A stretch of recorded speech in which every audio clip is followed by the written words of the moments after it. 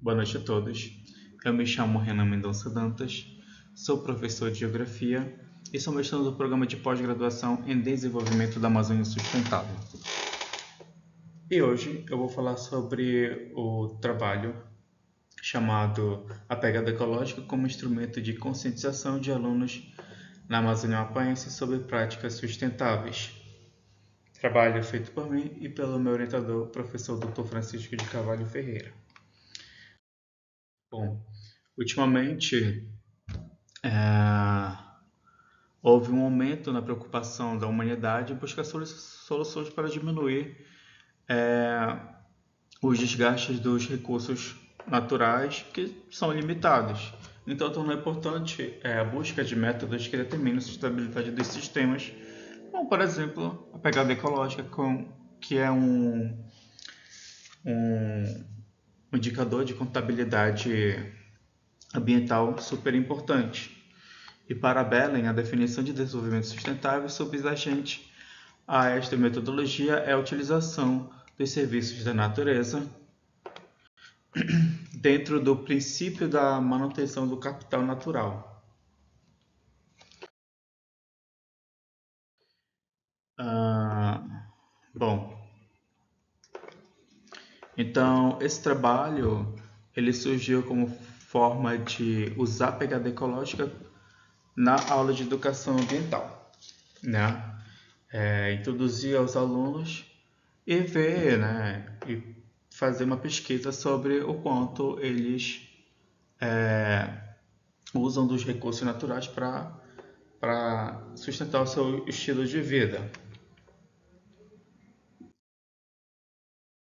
Então, no escopo do trabalho, a gente tem uma abordagem sobre sustentabilidade e desenvolvimento, a educação ambiental em si, os problemas e as crises é, ambientais é, geradas de acordo com as, todas essas problemáticas com a degradação da natureza.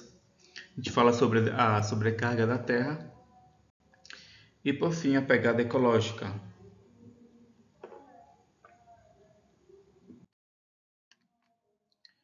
Bom, é, a sustentabilidade é um dos princípios, é, um dos principais temas abordados na educação ambiental, na qual seus aspectos culturais e socioambientais são capazes de suprir as necessidades é, das gerações atuais, sem impedir as, é, com que as gerações futuras elas é, sofram as consequências. Então é importante salientar a viabilidade das intenções sustentáveis, das interações sustentáveis para apresentar algumas soluções e conscientizações. A noção de sustentabilidade, segundo Jacob em 1997, implica, portanto, uma interrelação necessária de justiça, justiça social, qualidade de vida, equilíbrio ambiental e ruptura com o atual padrão de desenvolvimento. Os princípios da educação ambiental têm sensibilização, que é um processo de alerta, né, compreensão do conhecimento dos componentes, o, a questão da responsabilidade da, das pessoas como agente antrópico, principal, é, principal agente que impacta o meio ambiente. Tá? competências que é agir, é, avaliar e agir as nossas consequências, os nossos atos e a cidadania, cidadania que é a questão da participação. Né? E o alerta para entendemos que precisamos mudar, ter novos hábitos. A educação ambiental apresenta diferentes formas, conceitos e concepções. Ela também compreende os processos por meio dos quais os indivíduos e a coletividade constroem valores sociais, conhecimentos, habilidades, atitudes e competências voltadas para a conservação do meio ambiente, bem como o uso comum essencial à sadia qualidade de vida da sustentabilidade, segundo o CMB 1999. E aqui nós temos os componentes da pegada ecológica, que, é, como eu disse anteriormente, é um cálculo ambiental, né, um, é, que leva em consideração alguns aspectos referentes à produção e ao consumo. Ela foi criar essa, esse indicador foi criado por Warrington e Rees em 1996 na Inglaterra, a taxa de consumo de uma população influencia diretamente o aumento da pegada ecológica. Como vocês podem observar, a pegada ecológica de alguns países são relativos aos outros. Os países é, considerados desenvolvidos são muito têm a pegada ecológica muito alta, é como Estados Unidos, Canadá, Emirados Árabes e os países europeus. As emissões de carbono acumulam na atmosfera em vez de serem completamente absorvidas, segundo a WWF. Então isso causa todo um impacto e, e de diferentes formas. Então, os componentes da pegada ecológica, é, área de cultivo, recursos naturais biológicos renováveis, o carbono, a área de pastagem, as áreas florestais, a pesca e as áreas construídas, ou seja, cidades. E a pegada ecológica ela pode ser aplicada em diferentes escalas, desde um produto, uma pessoa, um grupo social, como foi aplicado, cidades, estados, regiões, países e a escala global, que é de 1,7 planeta Terra. Então, a metodologia aplicada foi a da cartilha da WWF Brasil, criada por Costa Valente em 2007, faz um debate sobre educação ambiental e os impactos ambientais. Essa cartilha contém 15 questões e cada uma com valor próprio, cuja somatória dá é, o resultado em planetas para suportar o estilo de vida desses alunos. O resultado é calculado em hectare ou planeta Terra.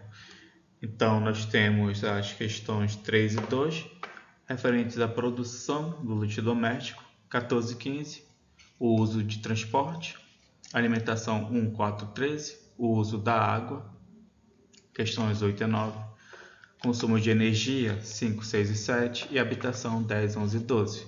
Então, todas essas questões, né, elas calculam e tem uma pontuação até 13 pontos. Um planeta Terra significa que a pessoa é sustentável, tá? De acordo com, com é, ela consegue é, é, sustentar seu estilo de vida com os recursos oferecidos pelo planeta. Até de, de 24 a 44 pontos, a pessoa tem que se atentar mais porque é um alerta. De 45 a 66 pontos significa 3 planetas Terra.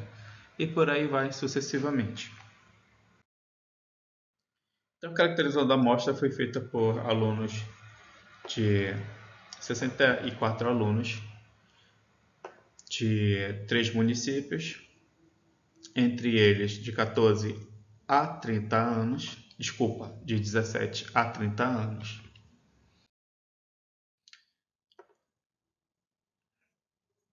É, cujas as turmas foram A, turma A e turma B. A maioria que respondeu foi da turma B. A maioria das pessoas que responderam foram do sexo feminino.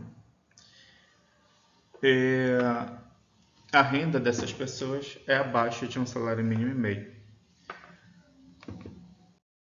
Então aqui temos as caracterizações das amostras, produção de lixo doméstico, uso de transporte, consumo de energia. E, não, não mais importante, o uso da água na produção de alimentos que basicamente é onde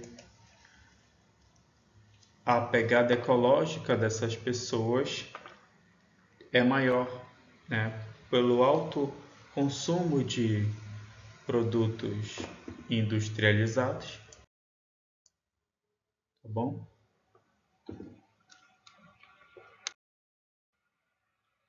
É e o, e uso é, da água.